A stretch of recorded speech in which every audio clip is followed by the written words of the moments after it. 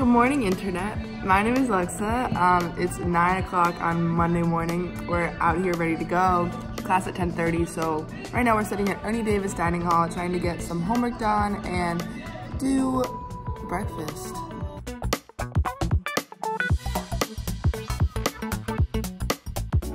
Every day I get an um, scrambled eggs with cheddar cheese and ham, and usually I alternate between a bagel and a muffin. So today I'm going to be taking you through a day in my life as a dual student in the iSchool and in the Newhouse School of Public Communications. Here we are in the iCafe doing some homework before class. All right, Bobby, who are you and what do you like to do on campus? Um, I'm Bobby. I'm a sophomore here in the iSchool studying information management technology.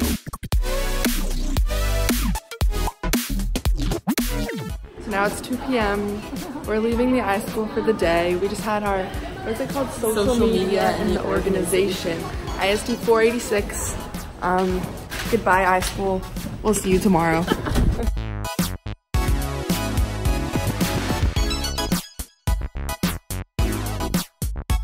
Alright, here we are in the Newhouse basement.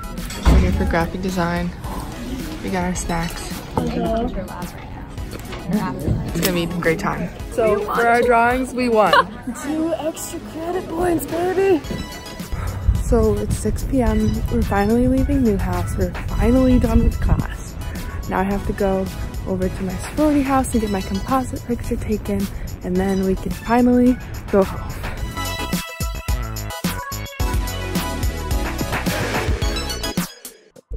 So now to top off our busy day, now I have to go to practice because here on campus I play club volleyball. I'm involved in Greek life as well as being an iSchool peer advisor. I hold a job at the Fund for Syracuse and I'm also a Syracuse football recruiting intern so I don't have a lot of free time but that's how I like it.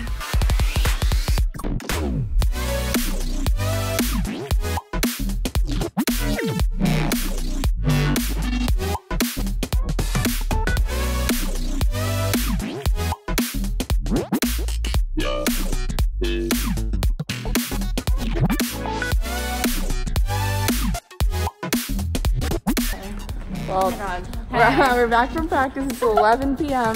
Thank you for following me in my day in the life. See you next time.